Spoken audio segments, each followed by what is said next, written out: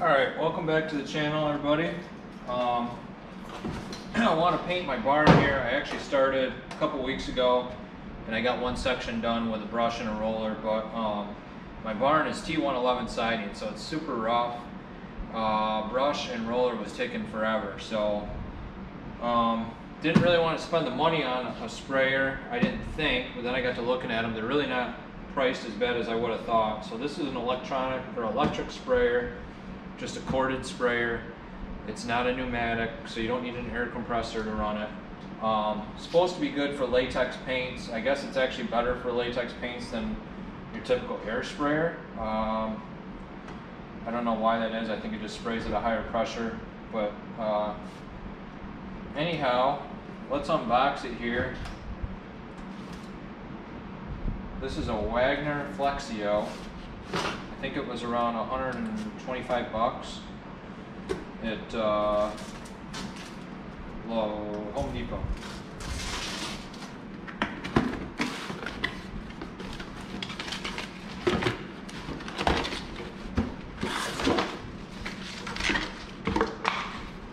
There's the actual motor. Some sort of filter. and then your paint reservoir, spray nozzle, which you can turn that vertical or horizontal, and I'm sure adjust your stream like so, yeah. So you can see wider stream, more narrow. So we'll play with that, and then it says it has numbers on it from 1 through 12. We'll see what that's all about.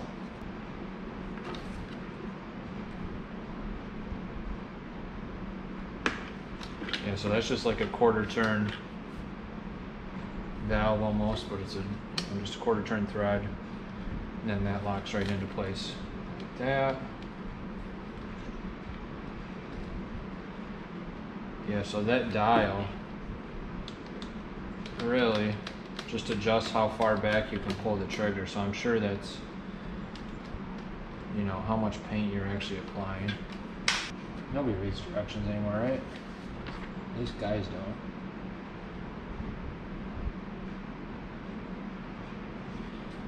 So for latex paints and primers, it's saying you want the air power on high, material flow, which is your dial. You want it on 9 to 11. I guess that means we'll put it on 10 then, right?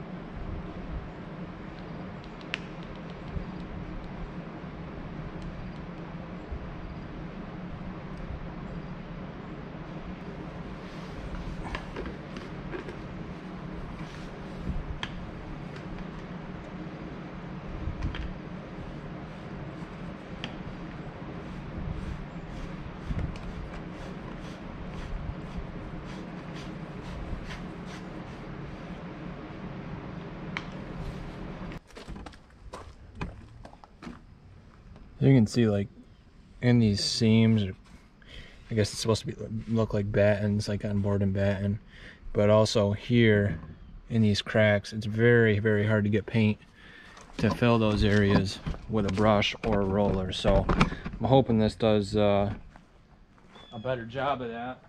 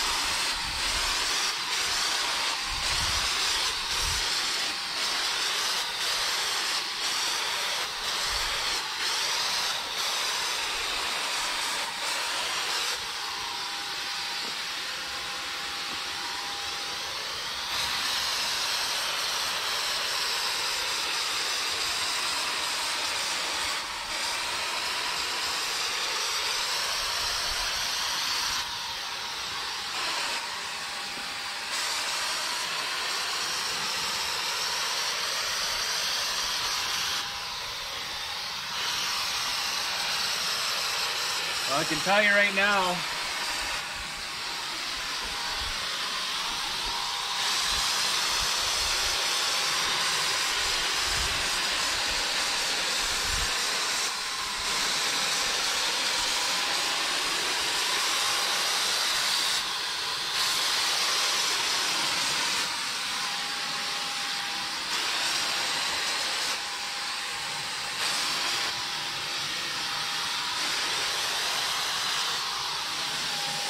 So, I mean, after a while, it's going to get heavy in your hand, but I can tell you right now, this is a million times easier than what I was doing with the roller and the brush.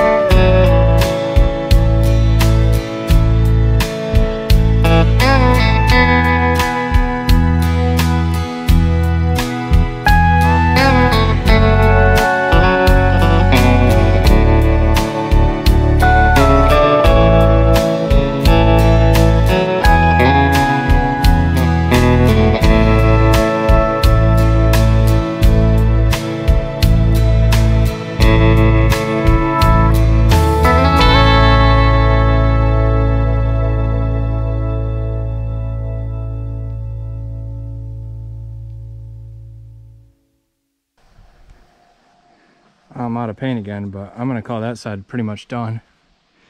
Got my conduit painted up there, which is sticking out kind of like a sore thumb, and now you can't even see it.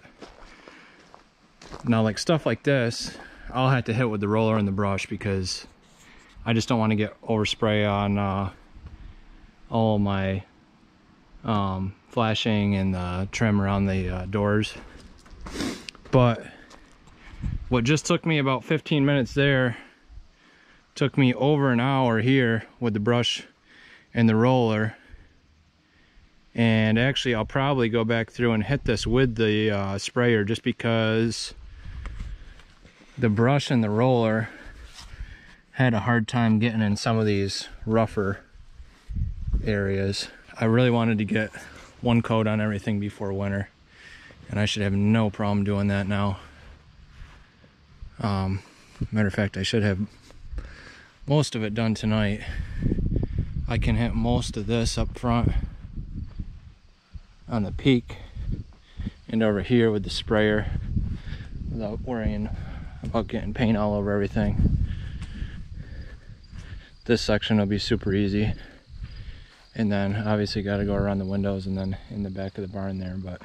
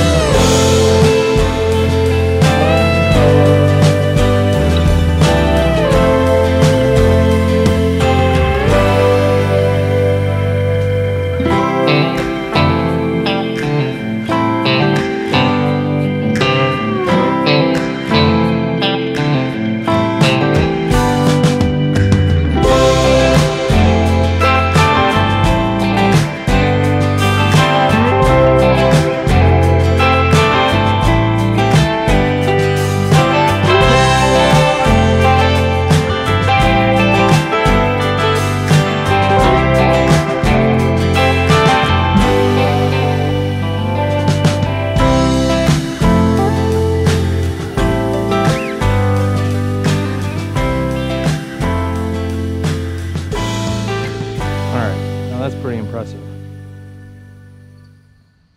I pretty much painted that whole side in less than 15 minutes. That's a whole lot more fun and easier than doing it with a brush and a roller. So um, I'm gonna finish up, but overall my first uh, impressions of this thing are pretty good. It's already, uh, actually would have put you guys, mounted to my head here and shown you kind of an up close, but it does get uh, overspraying stuff on you. I've got overspray on my clothes a little bit and you can see where uh, it's gotten on the actual gun. So I didn't want to get it all over my camera, but uh, it really does do a nice job of getting in all the um, cracks and crevices. And I think once it dries, it's gonna look really nice. I mean, it looks really nice right now, but I think it'll dry and be a lot more even of a color. So this end's already started to dry a little bit. starting to change colors. But good purchase. Geez, I think I'd pay that 125 bucks even if I could only use it once and the thing was disposable because it's going to save me on this whole garage probably like eight hours worth of work and a lot of uh, aggravation. So time is money, but I'm gonna clean it up when we're done and uh, we'll be able to use it uh, next time we paint the barn. Well, as you can see, uh, looks pretty good. Um, it all dried the same color. Went super quick. Um, I don't know if I could recommend it for indoor. You do get a fair amount of overspray. Um, I didn't have any trouble with stuff out here, but I feel like if you're doing walls and you had a white ceiling um, in an enclosed space, like inside a house, uh, that you're probably going to end up with more overspray than you want. Um, obviously, stuff like this, smaller areas I got to finish off by hand and then I got to cut in around all my windows and my trim with a brush or a roller um, or a combination of each. And then I got white uh, paint for the trim. And I don't know. Turned out pretty good. Like I said this was all brush and roller and then I did stuff like uh, basically the whole rest of the barn with the sprayer and it just flew compared to this. So um, if you're doing like a rough surface, like a barn, a shed, especially this T111 stuff or like rough cut, if you're painting that, I'd absolutely recommend the um, sprayer, the airless sprayer. But uh, inside, I'd probably still go with a brush and roller. And maybe there's tricks that I don't know, but um, that's my first impressions of it but uh, very easy to clean up. All I did was uh, fill the reservoir with soapy water and um, I just kind of shook it up as I sprayed it through there and that's what the directions said to do. It, it broke up all that paint, latex, and if you uh, use like an oil-based paint, you're going to want to use a solvent-based, um, like a mineral spirit to clean that sprayer out and then they give you some stuff for the O-rings in there that basically keep those O-rings from drying out. Um, it's just like a lube, like a, probably like almost like a Vaseline petroleum jelly style lubricant. And uh, you'd put that on the O-rings when you're done and uh, it'd be ready to go for the next time. But obviously using latex and just soapy water, you don't need to um, do that step. So anyway, thanks for watching guys and uh, Vigo and I will catch you on the next one.